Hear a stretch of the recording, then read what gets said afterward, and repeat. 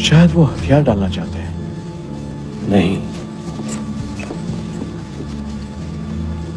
बहादुर लोग ऐसा नहीं करते।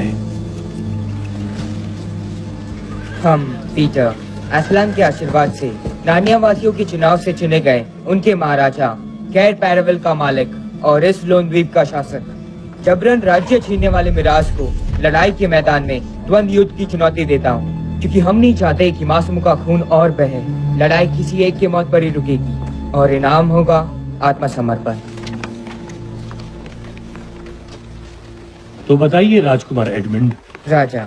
आप माफ़ कीजिएगा। मुझे राजा एडमिन नाम से बुलाए वैसे राजा भी ठीक रहेगा। महाराजा तो पीटर है। नहीं समझे ना? जानता हूँ मुश्किल है। पर हम ये जोखिम भरी शर्तें क्यों माने जबकि हमारी फौज तुम्हें पल भर में ही मिटा देगी? आप हमें कमज़ोर समझने की गलती ना करें मिदास। मेरा मतलब एक हफ़्ते पहले तक आपको लगता था कि नानियंस खत्म हो चुके हैं। और अब फिर से वही होगा। तब तो आपको डरने की ज़रूरत ही नहीं।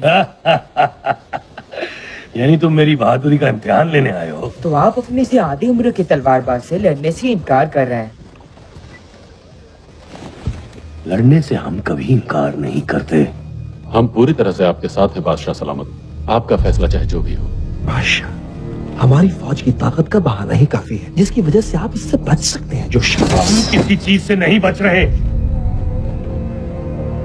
मुझे तो सिर्फ़ इतना बताना था कि बादशाह को पूरा हक बनता है अगर उनको इनकार करना हो। तो बादशाह सलामत कभी इनकार नहीं करेंगे।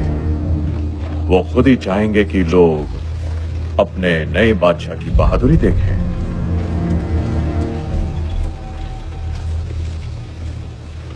सुना। दुआ करो कि तुम्हारे भाई की तलवार में उसकी कलम से ज़्यादा दम हो।